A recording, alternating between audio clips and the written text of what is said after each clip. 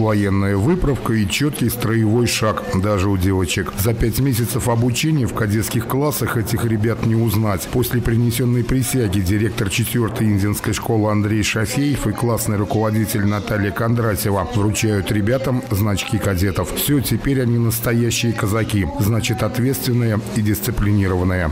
Казачье общество плодотворно работает уже на протяжении двух лет э, с четвертой школой.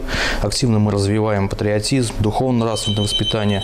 Сформировали уже мощную базу, которая нам позволяет идти вперед, э, заниматься военным воспитанием, заниматься духовно-нравственным воспитанием. Кадеты уже официально стали кадетами, то есть приняв присягу, человек уже э, несет ответственность за те слова, которые он сказал. И, соответственно, если он будет нести эту ответственность, то будет и дисциплина, будет э, и многое другое, что направляет его по жизни. Ребята не только дополнительно изучают военное дело и духовно возрастают, но и активно занимаются спортом, выигрывают медали. Например, новоиспеченный кадет Дмитрий Кузнецов на прошедшем в конце минувшего года Кубке Ульяновской области по ММА стал серебряным призером. И вот награда нашла своего обладателя. Поздравляю всех души.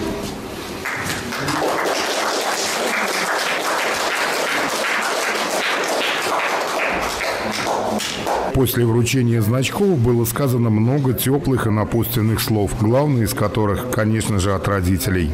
Будьте всегда такими же целеустремленными и жизнерадостными. Ставьте всегда перед собой цели и воплощайте их только в реальность.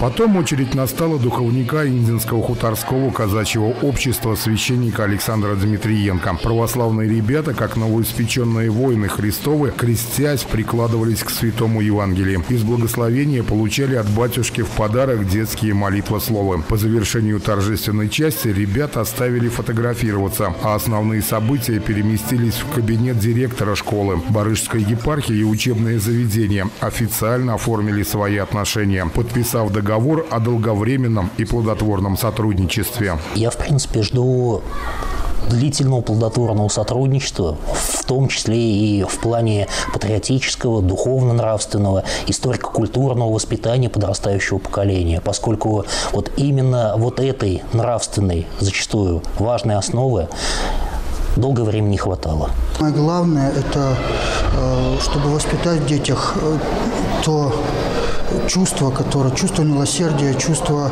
справедливости и много-много другое, что связано именно с православием.